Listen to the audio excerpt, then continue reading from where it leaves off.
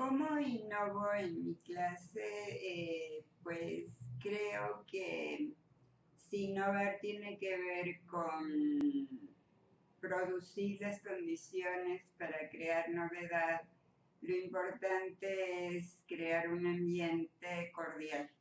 Es muy importante que los alumnos se sientan libres en el salón de clase y para innovar yo considero que habría que prohibir el miedo, la represión, los castigos, porque antes que nada el alumno tiene que sentirse como en un espacio, algo así como si fuera su segunda eh, hogar, donde en este ambiente se produce novedad en el pensamiento.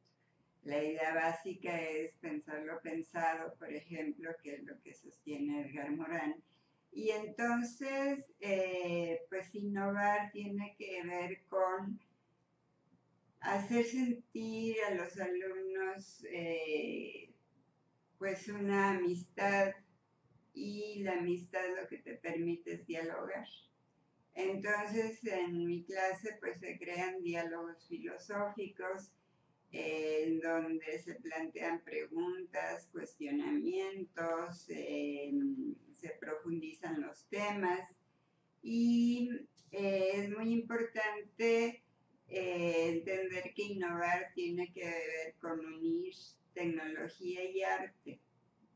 Y entonces hay que aprovechar todo lo que está en Internet, porque Internet, eh, a pesar de que hay muchos que les cuesta trabajo aceptarlo, Internet es una vía de liberación, porque el joven desde su casa, desde un lugar cómodo, en el celular, en un parque, puede él adquirir la información y nosotros tenemos que estar buscando esa información como profesores para indicarles cuáles son buenas alternativas y tienen que ser a través de videos, series de televisión, eh, páginas. En lo personal tengo un blog en donde les pongo artículos filosóficos y en clase lo que se hace es estar platicando, dialogando acerca de todos estos temas. Es muy importante crear un mm, lugar eh, filosófico, por así decir, que lo que eh, se enseña con la filosofía es amar la verdad, amar la honestidad, a buscar el conocimiento, a buscar una buena vida, a buscar la felicidad.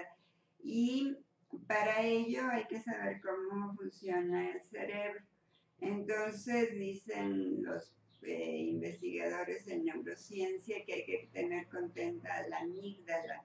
Es decir, que los jóvenes eh, van a aprender si les emociona lo que están estudiando.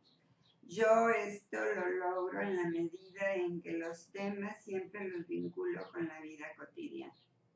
Es la filosofía de la vida que nos pudiera llevar a una filosofía que señala Platón en el banquete, que significa erotizar la vida, que implica pues crecer, amar todo lo que hacemos, florecer.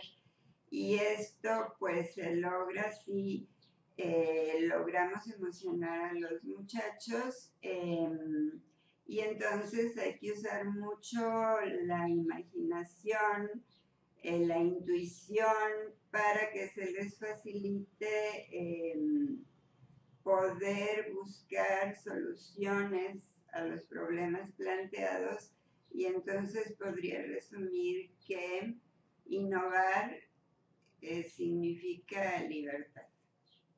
Thank you.